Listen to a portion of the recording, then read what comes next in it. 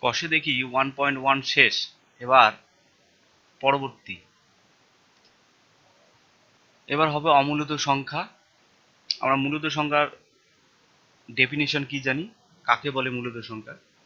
যে সকল সংখ্যাকে পি বাই কিউ আকারে প্রকাশ করা যায়, তাদেরকে বলা হয় মূলত সংখ্যা। এবার অমূলত সংখ্যা কাকে বলব? যে যে সকল সংখ্যা পি বাই কিউ আকারে প্রকাশ করা যাবে না, তারা হচ্ছে অমূলত সংখ্যা। পি বাই কিউ আকারে প্রকাশ করা যাবে না। উদাহরণ হিসেবে root two root three root five এই যে একটা সংখ্যা আছে, সেটা অমূলত সংখ্যা। এবার নিচে কয়েকটা সংখ্যা লেখা আছে, বলতে হবে যে কোনটি মূলত এবং কোনটি অমূলত সংখ্যা। ভালো করে দেখবে। প্রথম যে সংখ্যাটা লেখা আছে দুই। এই দুইটা মূলত না অমূলত? অবশ্যই এটা দুই বাই দুইটা একটা মূলত সংখ্যা। কেননা দুইকে আমরা লিখতে পারি পি বাই কিউ আকারে লেখা যায়। যেমন দুইয়ের নিচে কিছু নেই বলতে এক, তাহলে পি বাই কিউ আকারে লেখা যায়, তাহলে এটা একটা মূলত সংখ্যা। জিরো। জিরোটা কি সংখ্যা? মূলত না অমূলত যে- যাকে পি বাই কিউ আকারে প্রকাশ করা যাবে সেটা হচ্ছে মূলত আর যাকে যাবে না সেটা হচ্ছে অমূলত জিরোটা হচ্ছে এটা মূলত এটাকে আমরা পি বাই কিউ আকারে প্রকাশ করতে পারি। জিরো বাই নিচে নিচে কিছু নেই বলতে এক, তাহলে এটা পি বাই কিউ আকারে হলো। তাহলে এটা এটা হচ্ছে মূলত সংখ্যা।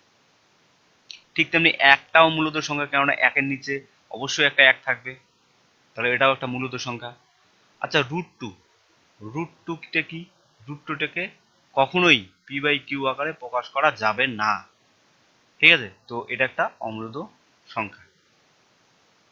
রুট থ্রি রুট থ্রিটাও একটা অমূলত সংখ্যা, কেননা এটাকেও পি বাই কিউ আকারে প্রকাশ করা যাবে না। এক কথায় রুটের ভিতরে যতগুলো আছে, সবগুলো প্রায় অমূলত সংখ্যা। পাঁচ পাঁচ একটা মূলত সংখ্যা, কেননা পাঁচের নিচে এক আছে, পি বাই কিউ আকারে প্রকাশ করা যাবে। সাত সাত একটা অমূলত মূলত সংখ্যা, কেননা সাতের নিচে এক আছে, পি বাই কিউ আকারে প্রকাশ করা যাবে। তিন বাই চার, এটা কি? এটা একটা মূলত সংখ্যা। কারণ এটা পি বাই কিউ আকার দেওয়াই আছে, তো এটা একটা মূলত সংখ্যা। তারপর হচ্ছে নয় বাই থ্রি, এটা কি? এটা মূলত না অমূলত এটা অবশ্যই একটা মূলত সংখ্যা। কিন্তু দেখো, এখানে তিন দিয়ে নয়কে কাটলে আসতেছে তিন। ঠিক আছে? তো এটাকে বলা হবে তিনের, নয় বাই তিনকে বলা হবে তিনের একটা সমতুল্য ভগ্নাংশ অথবা সমতুল্য মূলত সংখ্যা। তো অবশ্যই নয় বাই তিন একটা মূলত সংখ্যা।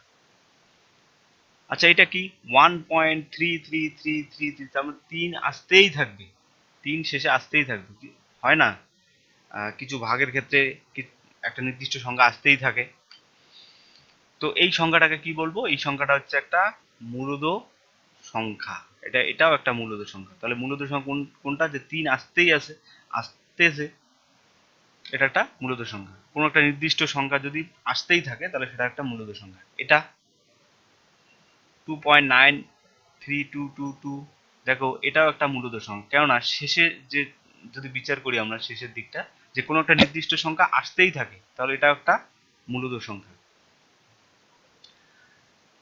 এটা কি? এটা একটা অমূলদ সংখ্যা। কেন অমূলদ সংখ্যা? দেখো, এখানে কোনো, এটা তো অসীম অবধি চলছেই। মানে শেষে অসীম অবধি চলতেই থাকবে। ভগ্ন ভাগফলটা কখনো শেষ করা যাবে না। ভাগ করে কখনো শেষ করা যাবে না। আর এখানে যে সংখ্যাগুলো আছে যে, একবার ওয়ান আসতেছে তারপর জিরো তারপর ডাবল ওয়ান আসতেছে তারপর জিরো ট্রিপল ওয়ান আসতেছে তারপর জিরো কোনো নির্দিষ্ট সংখ্যা পরপর কোনো সংখ্যা পুনরাবৃত্ত ঘটছে না। এখানে যেমন টু আসতে আসতে, আসে আসতে, আসে, কিন্তু এখানে কোনো সংখ্যা, নির্দিষ্ট কোনো সংখ্যা যে আসতেই থাকবে, এমনটা নয় কিন্তু এখানে। এখানে কখন কোন সংখ্যা আসবে বলা মুশকিল।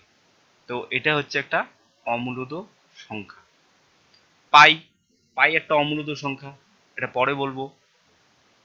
পাই একটা অমূলত সংখ্যা কেন দেখো? পাই মানে আমরা জানি কি, বাইশ বাই সাত। বাইশ বাই সাত। তো এটাকে আমরা ভাগ করব, বাইশ বাই সাতকে ভাগ করব। বাইশ তিন সাথে একুশ, তিন সাতা একুশ। এবার হচ্ছে পয়েন্ট দিয়ে একটা শূন্য নেই পয়েন্ট দিয়ে একটা শূন্য নেই। বিয়োগ করলে কত হবে? এক আসবে ভাগ করা যাচ্ছে না পয়েন্ট দিয়ে শূন্য নিলাম। তাহলে কত হবে? সাত একে সাত। তাহলে বিয়োগ করলে কত পাওয়া যাবে? বিয়োগ করলে পাওয়া যাবে হচ্ছে তিন। পয়েন্টের জন্য শূন্য নিলাম। পয়েন্টের জন্য নিলাম শূন্য। তাহলে কত পাবো? তিন সাতা, চার সাতা আঠাশ। চার নেব। চার সাতা আঠাশ।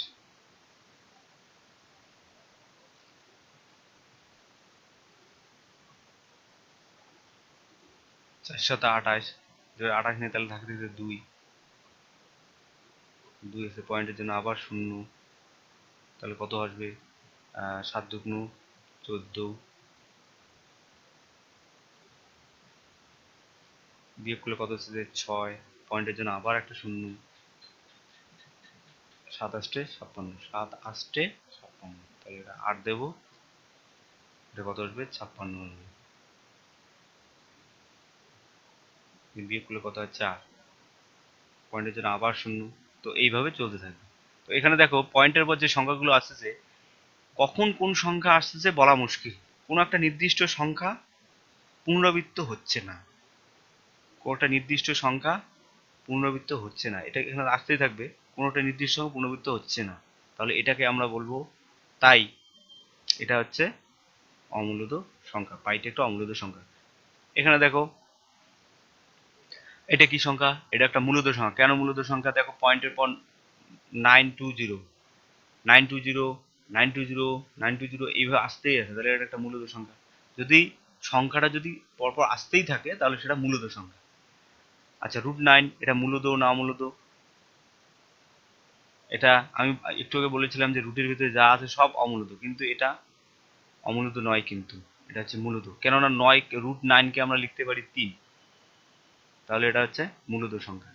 আচ্ছা রুট ইলেভেনটা কি? এটা অমূলত রুট একুশটা কি? এটা অমূলত রুটের ভিতরে যা আছে সব হচ্ছে অমূলত কিন্তু যদি root four root nine root ছত্রিশ রুট ষোলো, এগুলো কিন্তু অমূলত নয়। এগুলো হচ্ছে মূলত কেননা রুট ছত্রিশকে যদি আমরা করতে যাই রুট ছত্রিশকে আমরা আসে রুট ছত্রিশকে ভাঙালে পাওয়া যায় ছয়।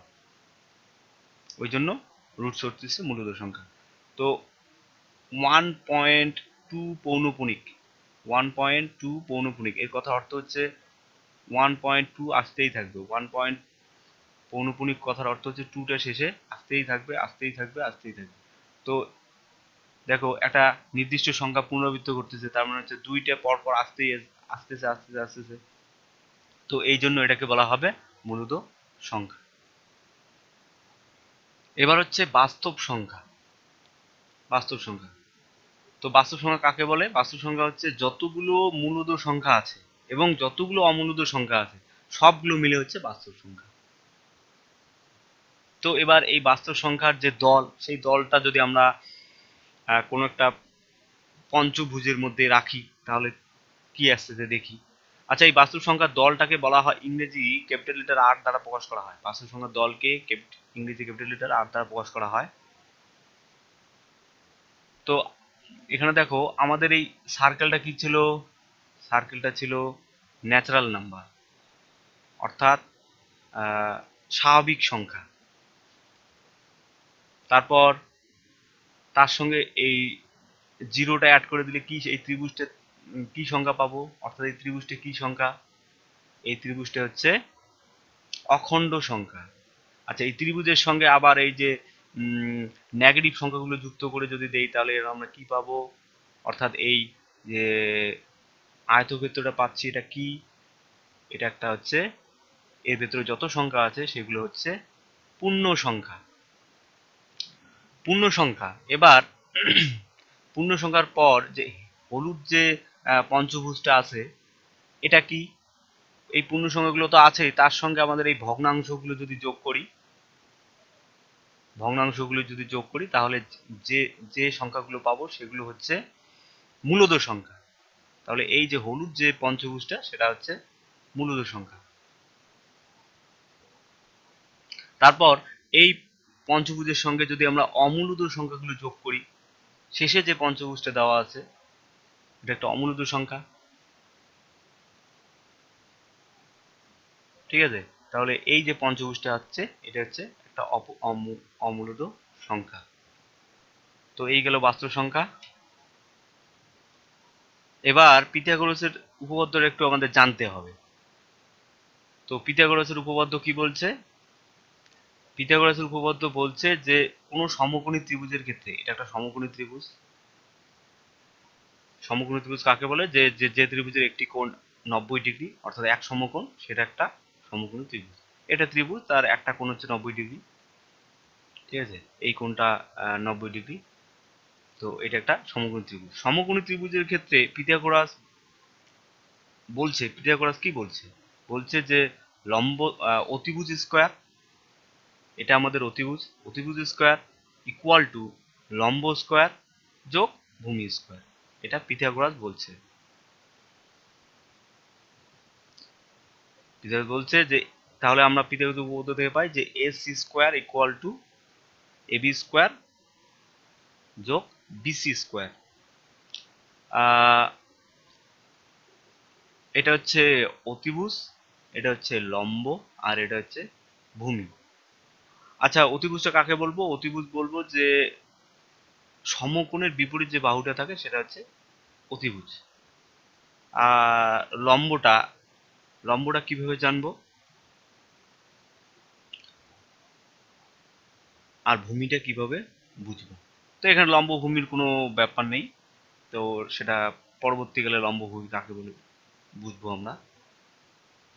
তো জাস্ট জেনে নাও যে লম্ব হচ্ছে যেটা লম্বালম্বি থাকে মানে খা- খাড়া ভাবে যেটা থাকে সেটা হচ্ছে লম্ব, আর ভূমি হচ্ছে যেটা অনুভূমিক ভাবে থাকে সেটা হচ্ছে ভূমি।